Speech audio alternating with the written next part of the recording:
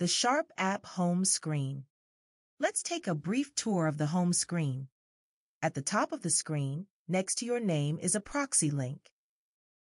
This will either read Add Patient if you have no proxy connections, or Switch Patient if you do have connections.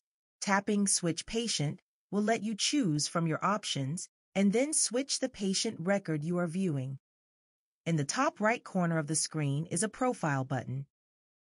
Tapping this button allows you to manage various account and profile settings. Immediately beneath your name is a section devoted to important notifications. In this example, we can see an offer to schedule an appointment with an allergist. As we scroll down the screen, we have the Get Care section. This section allows quick access to schedule with your doctors. Your list includes your on-file primary care doctor and any provider you have seen in the past two years. Please note that some historical connections may not have transferred to the new system. Your next appointment with your doctor will reestablish your connection. In addition to scheduling with your current care team, you can access same-day care, including appropriate virtual care, urgent care, and information about emergency services. Next, you can schedule services, such as lab appointments, routine eye exams, and screening mammograms when relevant. And lastly, if you're feeling a little unwell, get care advice from our symptom checker.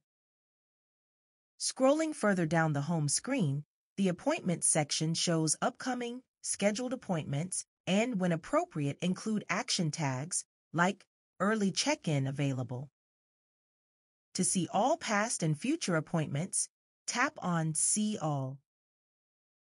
Billing is now integrated into the Sharp app.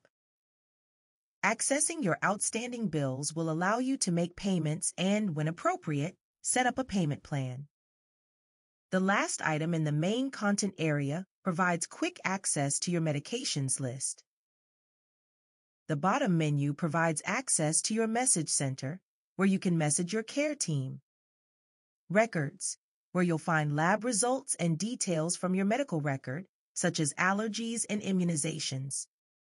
Please note that such historical data may not appear until reconciled at your next doctor's appointment. And finally, notifications, which provides a comprehensive list of to-dos, action items, and reminders.